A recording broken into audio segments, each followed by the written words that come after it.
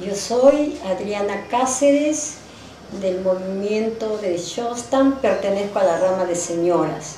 Yo conocí el movimiento por intermedio de la Madre Liberata, que vino acá al Perú a raíz de que el terremoto del año 70, la Madre vino acá con muchas ilusiones de fundar el movimiento y al comienzo a las señoras de la parroquia nos daba este, novenas, estampitas y de esa manera en forma silenciosa comenzó el movimiento.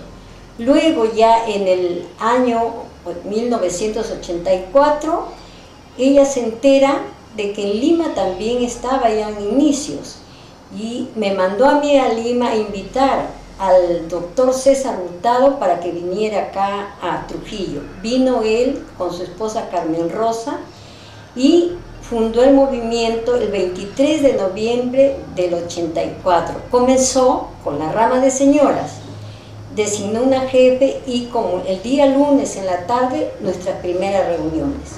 Yo soy César Medina, mi esposa es Victoria, este, pertenecemos a la rama de matrimonios y en estos momentos eh, estamos trabajando eh, en la campaña de la Virgen Peregrina. Nosotros conocimos al movimiento eh, también por la Madre Liberata que nos invitó a una reunión donde nos explicaron en torno al movimiento, a la, a la Mater. Luego conocimos al padre Carlos Pfeiffer al poco tiempo. Poco a poco él nos fue conversando y fue introduciendo en lo que significaba el movimiento de Chong. Y justo nosotros nos sentamos a la mesa con nuestros nueve hijos y, colocábamos en fuentes la comida para servirnos, ¿no? Y él nos dijo que justo le hacía acordar en su hogar que ellos también eran una familia numerosa y que hacían lo mismo. Así que cuando le invitaban acá alguna, algún banquete, algo, no, yo mejor me voy a comer con los Medina porque me hace acordar a mi casa.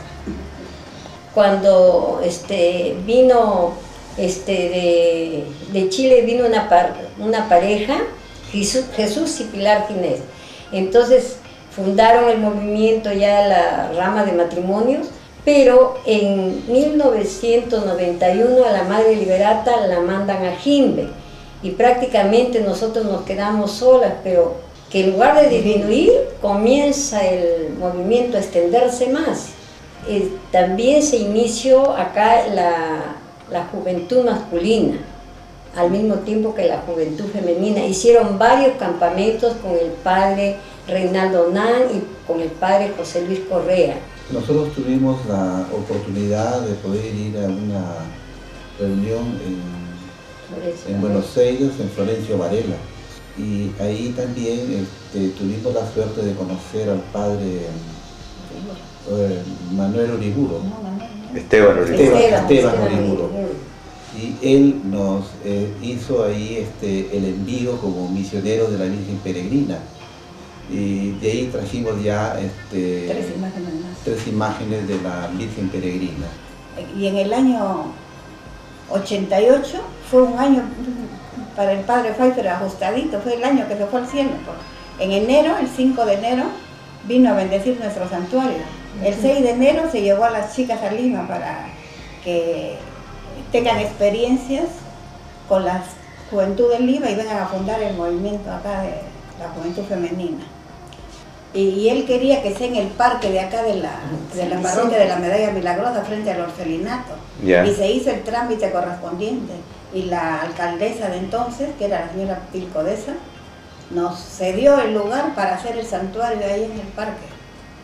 Pero el arzobispo eh, dijo que no era conveniente ese lugar porque había muchos, muchos lugares religiosos juntos, que mejor se haga en un lugar donde estaba más solitario, ¿no? que no había apoyo religioso. Posteriormente ya eh, El- se consiguió el, el terreno donde está actualmente el, el santuario. el padre Buitrón este, hizo, hizo una asamblea general y ahí nombró una comisión. Entonces ellos ayudaron a conseguir el terreno donde tenemos ahora. Eh, nosotros tomamos el acuerdo como movimiento de Trujillo, y Trujillo de hacer todo el esfuerzo por eh, por conseguir el- tanto el terreno y iniciamos ese capital de gracia en la, en la- aquí en, la- esta parroquia con la oración todos los domingos, el rosario antes de la misa de 7. Eh, con el padre Reinaldo, eh, cuando iniciamos el trabajo, él me pidió eh, 20 imágenes para enviar a, a sus profesores del colegio.